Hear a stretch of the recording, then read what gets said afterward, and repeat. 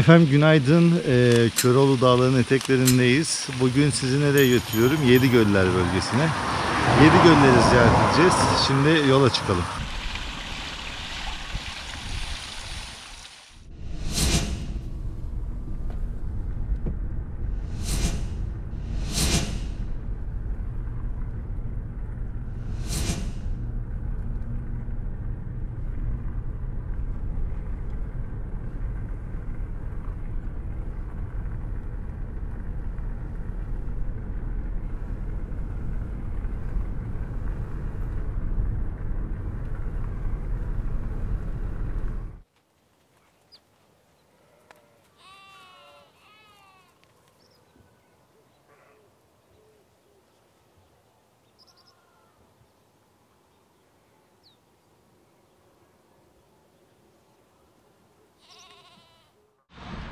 Şimdi Yedi Göllere doğru giderken böyle yaylalardan geçiyorsunuz. Yayla görmüşken hiç kaçırmak istemedim. O yüzden de size göstermek için burada durdum. Kuzular falan filan var işte.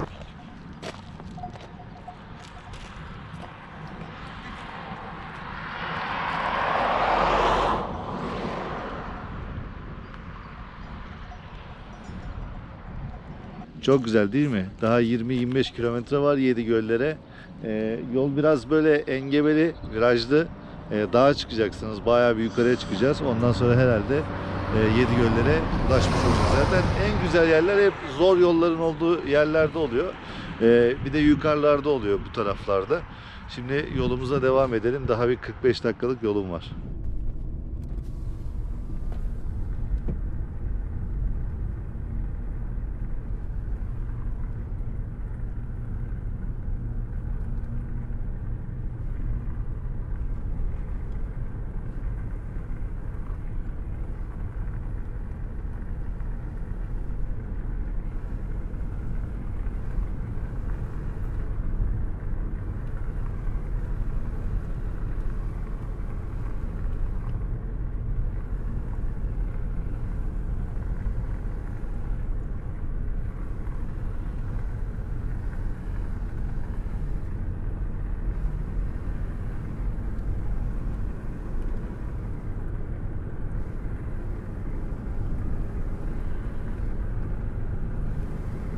Telefonum Turkcell e, bu bölgede hiç çekmiyor diyebilirim size. E, otelde kaldığımız zamanda da otelde de çekmiyordu. Hiçbir şekilde çekmiyor. Yer yer geliyor. Yer yer gidiyor ama şu anda e, ben Android Auto kullanıyorum aracımda. Hiçbir şekilde e, görüntü, navigasyon, ses, iletişim, e, multimedya hiçbir şey kullanamıyorum. Dolayısıyla e, tamamen analog bir şekilde gidiyoruz. Ee, hani yer yer hat geliyor demeyeceğim. Hiçbir şekilde e, Türksel çekmiyor burada. Hani bu bölgeye gelecek olanlar bunu mutlaka e, şey yapsın. e, Düşünsün ona göre gelsinler. Belki bu bölgede gezmek istiyorsanız haritaları önceden e, alete indirmek lazım. E, manuel.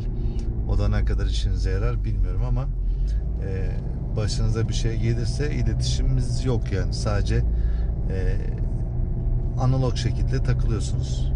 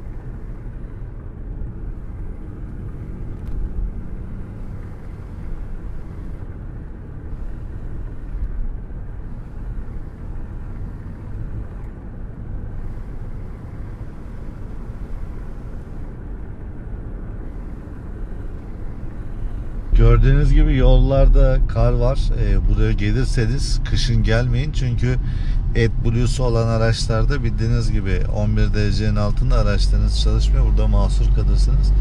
Ee, buraları ziyaret için genelde tercih edeceğiniz zamanlar Nisan-Mayıs ayından sonraki aylar olsun. Ee, yoksa sıkıntılı buralar. Yani hala yollarda kar görebiliyorsunuz.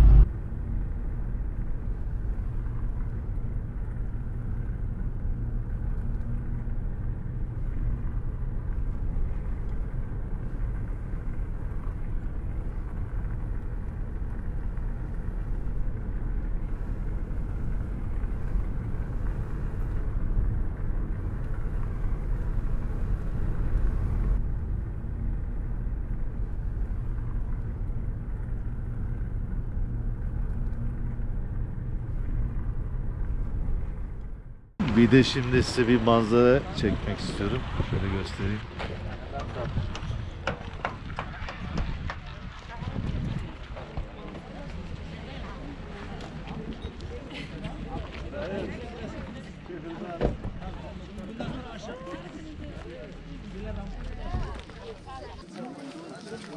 Abla selamünaleyküm. Bana iki tane çay verir misin? Tamam. Çok vereceğim buraya. Üstü yok. He? Onu mu? Kağıt bardağı ver tamam. Var. Burada patates var. Bir façat verir belki.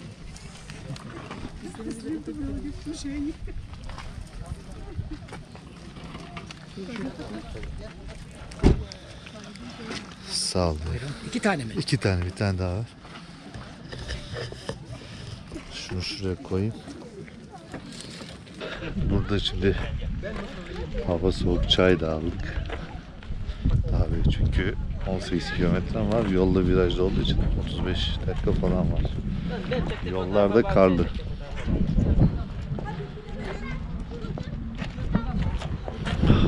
Abi manzara mükemmel ya. Hava soğuk. 5 derece şu anda. Bakmayın e, benim kameramın ISO değerlerini biraz açtım bu şeyde çünkü karanlık e, gösteriyor ama e, şu anda ISO değerlerinden dolayı siz biraz daha sarı görebiliyor olursunuz video diye. Yedi Göller Milli Parkı'na ulaştım. E, yol 5 kilometre böyle parke taşıyla döşenmiş. O yüzden biraz arabada titrediği için yavaş yavaş iniyorum.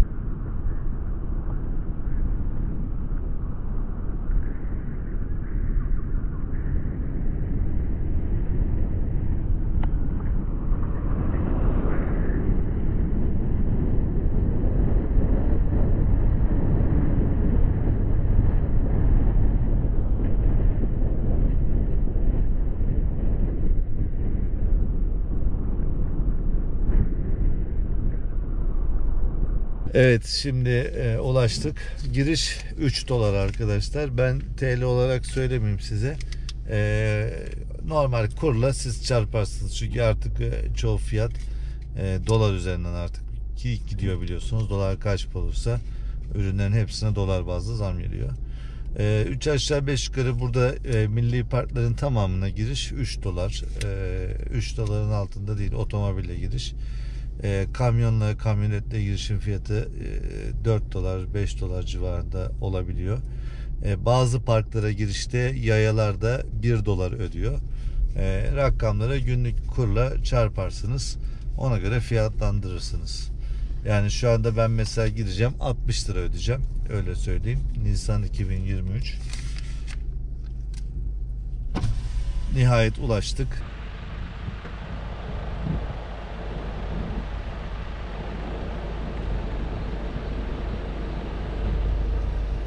Evet, e, şahıs 20 lira. Tek kişi yürüyerek gelirseniz. E, yürüyerek trekking için gelenler de var. O yüzden söylüyorum. E, motosiklet, e, motosikletin girişi de 40 liraymış. E, kalabalık bir aile olarak hepiniz bir arabaya doluşup gelirseniz de o da işte 60 lira oluyor. Hoş geldiniz. Direkt aşağıya inin park etmeye. İyi bayramlar. Yol İyi bay- kenarlarına park etmeyin. Tamam iyi bayramlar abi. Sağ ol.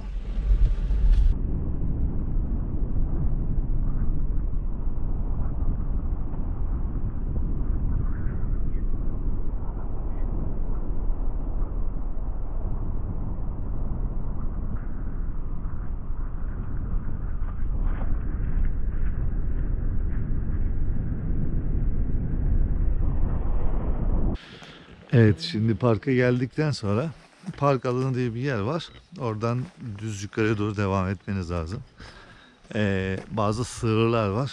Arabalarını park alanı zannedip yolun kenarına park ediyorlar. Halbuki yukarıdaki adam diyor ki yol kenarına park etmeyin devam edin biraz daha ileride. Bak burada park alanı yapmışlar yani geniş böyle sağlı sollu araçlarınızı park edebilirsiniz. Sonra ormanın içerisinden yürüyeceğiz. Nasıl bir orman? İşte şöyle bir orman. 5 dakika falan sürecek bizim aşağı inmemiz. Böyle bir ormanın içerisinde yürüyeceğiz. Zaten buraya niye geliyorsun abi? Yürüyüş yapmaya geliyorsun. Yani eee, doğada vakit geçirmeye geliyorsun. Nature. Doğa yürüyüşü, trekking. O 5 kilometrelik yolu bu arada yürüyerek gelenler de var. O yüzden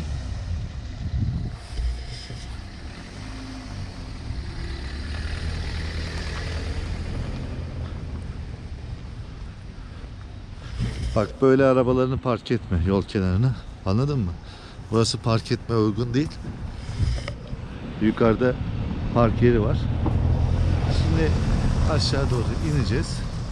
Aşağıda kafeler var, göller var. Bak bir tanesi şu. Yedi göller diyor ya. Görüyor musunuz bilmiyorum ama böyle ufak ufak göllerden oluşuyor.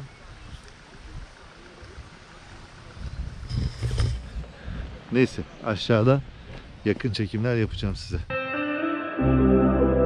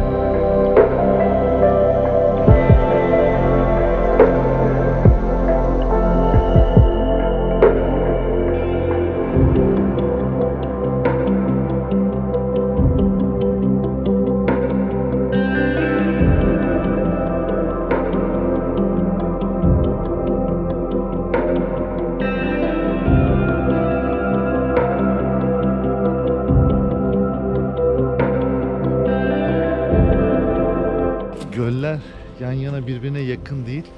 Ee, bu iki tanesi yakındı. Arabayı park ettikten hemen sonra e, göreceğiniz birinci göl ve bu sazlı göl.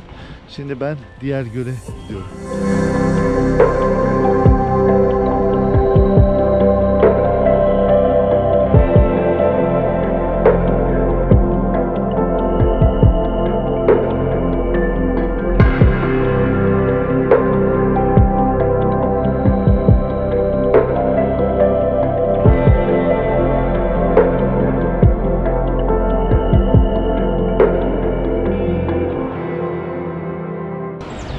Bu arkamda görmüş olduğunuz ise Nazlı Göl.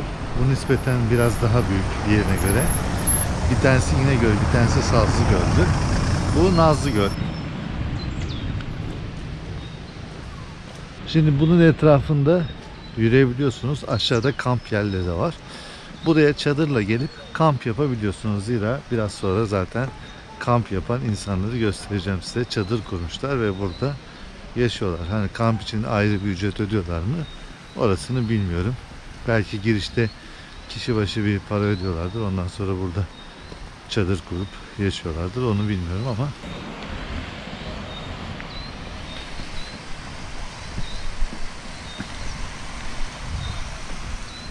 Allah aşkına dur araba mı?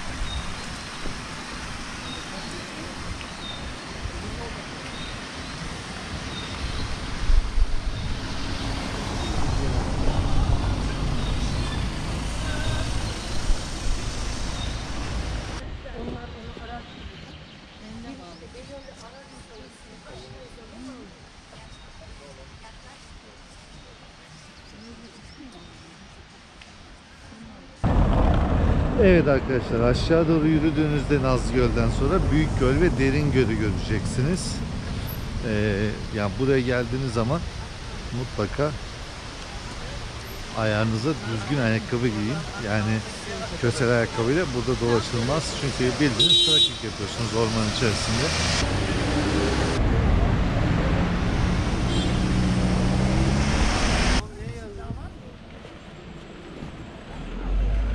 Şu kadarını söyleyeyim arkadaşlar. Büyük göl tarafına aşağı inerseniz yürümeyin. Çünkü çok uzakmış. Ben de daha sonradan arabamı aldım aşağı indim. Fakat aşağıda da yani böyle hani yemek yiyip dinlenebileceğiniz bir yerler yok. Park sıkıntısı aşırı derecede fazla. O yüzden çok da fazla görmeden yani yukarıdakilerin birebir benzeri çok da değişik bir şey yok. Onları gördüyseniz yeter. Ee, ben de aşağı indim arabayla. Sonra bir bakındım yukarıya doğru çıkıyorum. Evet. E, Yedi Göller Milli Parkı'ndan da bu kadar. Yani doğa içerisinde vakit geçirmek isteyenler buraya bir günlerini ayırsınlar. Bir gün net olarak gezebilirler.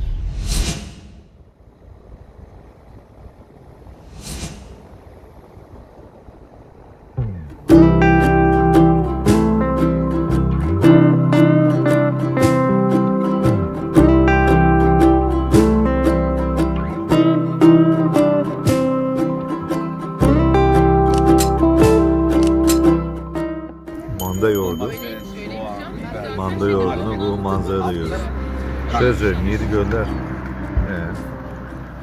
tesis bakımından çok zayıf. Ama bir kere de olsa gelip görün. Neyse bu videodan da bu kadar. Kendinize iyi bakın. Hoşçakalın.